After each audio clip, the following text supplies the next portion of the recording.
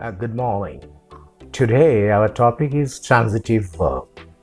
You may wonder that what is the need to teach transitive verb as you people might have been. Uh, I'm learning this topic since long. Yet I feel that sometimes we get confused while using it in our spoken or I mean spoken language mostly what I feel.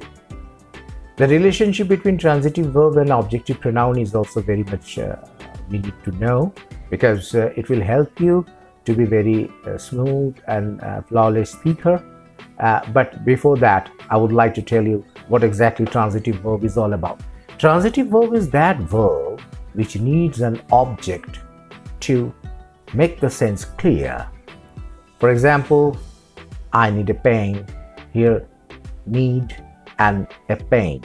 Without pain, need remains incomplete. So this is a transitive verb. Now the question comes, how to use this transitive verb in conversation? That is most important point, I think so. Let us take an example. I would like to uh, take examples of cook, for example. So mostly what we say can you cook food for me? Yeah, that's true. It is also transitive verb because after cook, you have used the word food. But try something different. For example, can you say in this way? Can you cook me some food? See the difference. Can you cook me some food? So that means instead of such a long sentence, you can make the sense same, you can make the sense clear if you put me just after cook and that will be transitive verb Same way, in Hindi sometimes we get confused. ये चल के छोड़कर आना मतलब suppose you are asking someone क्या आप मुझे चलकर छोड़कर आ सकते हो we don't get word we usually uh, use the word drop but i'm sorry uh, when you are walking there is a no chance of drop no so how can you say that can you walk me home see I'm saying, Can you walk me home? This me comes here as an object and it is transitive verb. Can you walk her home? So, are you getting how to use this transitive verb in conversation? For example, I'm asking you, Can you buy me some books? Can you buy me? See, can you buy books for me? That is also transitive.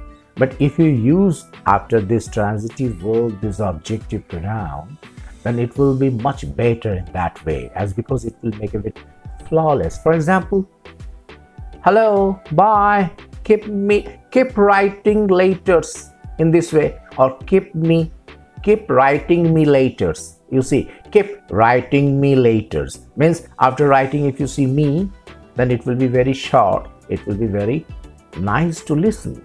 Likewise, can you read me a story? Can you read me a story? Means I'm, I can ask in this way Can you read a story for me? Instead of that, I can say, Can you read me a story? Can you see me a doctor? Can you see me a doctor? See, can you bring me some vegetables? Can you bring me some vegetables? You see, objective pronoun. So why what is the purpose of this video? The purpose of this video is that to speak smooth way it is necessary that you need to know what exactly the transitive verbs and relationship with transitive verb and this objective pronoun. Most of the time we see that mm, we use a lot of words many words but you need to know how to be very much careful about using words because uh, increasing words will eventually hamper the whole process of if you if you are in print media if you are in other ways if you see the editing the i mean you can say you can say the you, are your this uh, concept to use less words that is most important uh, i mean useful for the house because each word may increase the cost of the printing too so in that sense, what I want to mean is that in a nutshell, if I recapitulate the whole process, I can say in that way that remember this transitive verb, remember this transitive verb once again.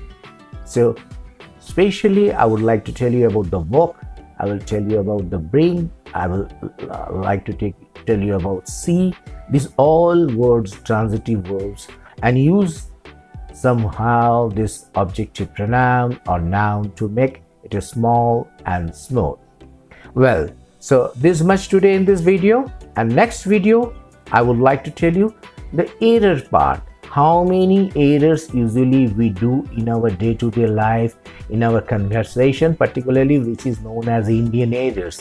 So you may rectify those errors also and help us to spread to reach out more and more students. If you like our video subscribe it and help us to reach so that many more students can join and learn from this video. Thank you